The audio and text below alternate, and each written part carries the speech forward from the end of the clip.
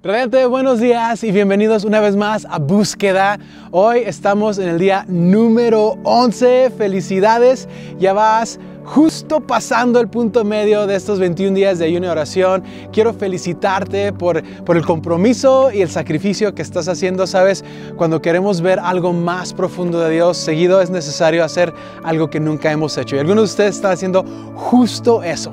Y creo que Dios va a honrar tu esfuerzo y tu sacrificio mostrándote su presencia, su poder, su dirección de una forma muy especial. Y así que, pues hoy, a manera que, que continuamos con, con este proceso de 21 días de, ayuno y oración, en el devocional, quiero, quiero darte la palabra gozo. ¿Por qué? Porque creo que es algo importantísimo para nuestras vidas, algo que todos creo necesitamos más y algo que Dios nos ha provisto en Cristo Jesús. Sabes, en Filipenses 4, versículo 4, Pablo está escribiéndole a creyentes como tú y como yo y les dice esto, estén siempre llenos de alegría en el Señor. Dice, lo repito, alégrense. ¿sí?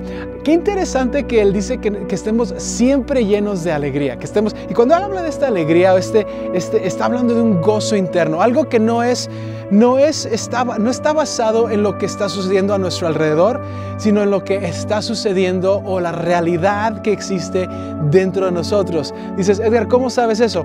Porque cuando Pablo escribió esto, era prisionero en un calabozo por predicar el Evangelio.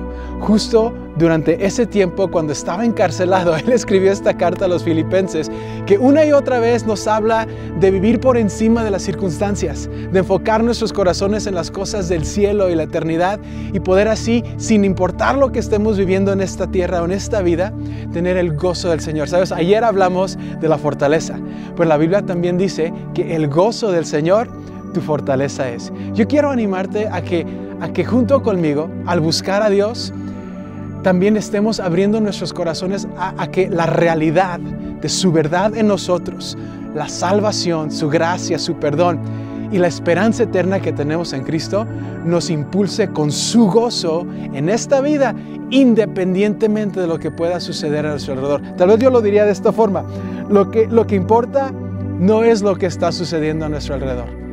Lo que importa es lo que está sucediendo dentro de nosotros, porque Cristo vive ahí. Así que radiante, vamos a terminar este devocional hoy simple y sencillamente diciendo, Señor, ayúdanos a enfocarnos en la realidad de tu transformación dentro de nosotros, las promesas que tú nos has dado para vivir siempre en tu gozo.